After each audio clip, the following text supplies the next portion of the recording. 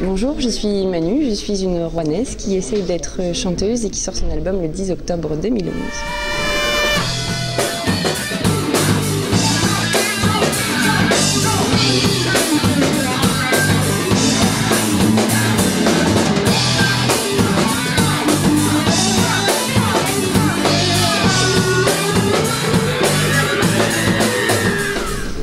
Alors cet album, il part d'une rencontre. Euh, j'ai toujours fait de la musique depuis que j'ai 14-15 ans en fait. Et euh, j'ai fait pas mal de hip-hop, du reggae, j'ai tourné avec un groupe.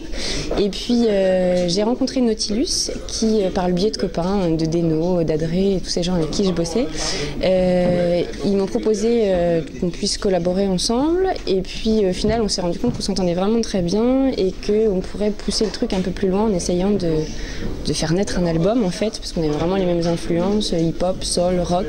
Euh, voilà, donc on a réussi à faire un petit mélange et au bout de pas mal de titres, eh on a fait un album qui va un petit peu plus loin que prévu parce qu'au début c'était un petit album régional et, euh, voilà, on a poussé le truc un petit peu et, pour l'instant tout se passe bien.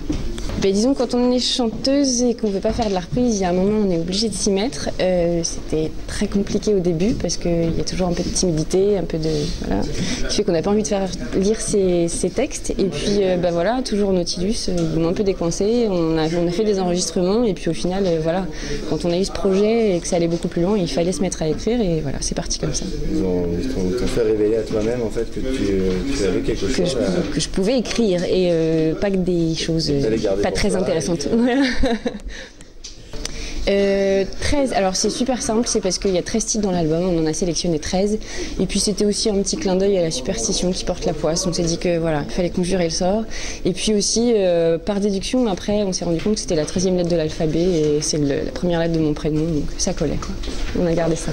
Alors, c'est lié au fait que cet album n'était pas pas vous et ce qu'il devient. Euh, c'était vraiment un petit projet qu'on avait au début. Et puis, ben, on a eu la chance de en démarchant euh, des distributeurs, des labels, on a eu la chance en fait d'être repéré par un distrib qui nous a proposé une distribution nationale. Et euh, ça a reculé la date parce qu'on a mis en place avec eux un plan de promo euh, qui a pris pas mal de temps. Il a fallu faire des choses que j'ai adorées, c'est-à-dire des photos, des choses comme ça et tout ça pour vraiment préparer une belle sortie. Et puis donc ben, voilà, comme on avait dit à plein de gens qu'on avait un projet qui était en cours et qu'on ne voulait pas s'endormir sur nos lauriers, il fallait euh, sans dévoiler l'album, qu'on puisse faire écouter notre son euh, voilà, pour se faire connaître, pour pas qu'on nous oublie. Et puis euh, c'était aussi l'occasion de refaire des chansons parce que bah, on a comme l'album est prêt depuis le mois de février, il devait sortir en février. Et voilà, ça nous manquait de faire de la musique, donc on en a profité, on a lié l'utile à l'agréable. Euh, il y en a euh, énormément. Enfin, euh, ça passe du, hip-hop à la soul, tout ce qu'on essaie de mettre dans nos, dans nos chansons en fait.